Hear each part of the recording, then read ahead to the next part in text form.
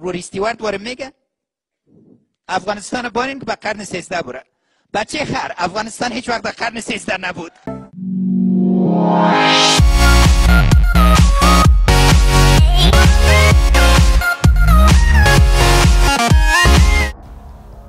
به نام خداوند بخشاینده مهربان سلام وقتتون بخیر. به یکی از ویدیوهای دیگر از کانال Smart Plus خوش آمدید. تقاضا می‌کنیم تا پایین ویدیو با ما همراه بوده. و این کانال را نیز subscribe کنید.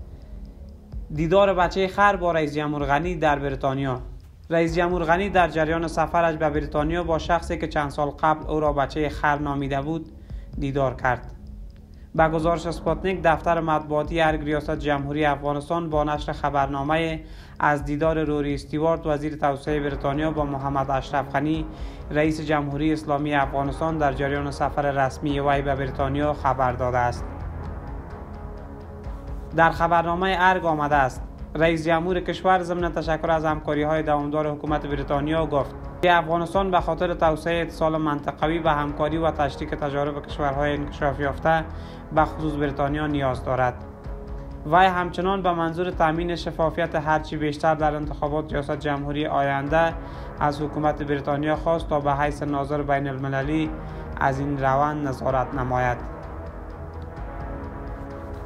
روری استوارد و رئیس جمهور کشور از همکاری های همجانبه در عرصه اتصال منطقوی افغانستان اطمینان داد و گفت که حکومت بریتانیا بر علاوه تعهدات کمک های بشر دوستانه در بروکسل 130 میلیون پوند دیگر نیز به افغانستان کمک خواهد کرد.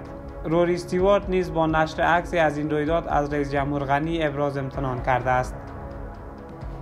این در حال است که رئیس جمهور غنی قبل از رسیدن به ریاست جمهوری در یک سخنرانیش از روری استیوارت یک نویسنده و افغانستان شناس است نقل قول کرد که گفته بود افغانستان را بگذارید که به قرن 13 برود و در جوابش او را بچه خر نامیده بود. افغانستان هیچ وقت در قرن 13 نبود. این گفته های رئیس جمهور غنی در شبکه های اجتماعی در داخل و خارج افغانستان واکنش های مختلف در پی داشت. پس از بچه خر نامیدن روری استیوارد این دومین بار است که رئیس جمهور غنی با وی دیدار نموده است. قابل ذکر است که رئیس جمهور غنی به دعوت رسمی دولت بریتانیا به این کشور سفر نموده. و قرار است در بازی کرکت تیم ملی افغانستان در مقابل تیم ملی انگلستان نیز شرکت ورزیده از ملی پوشان کشور حمایت کند. تشکر از توجهتان. تا ویدیوهای دیگر بدرود.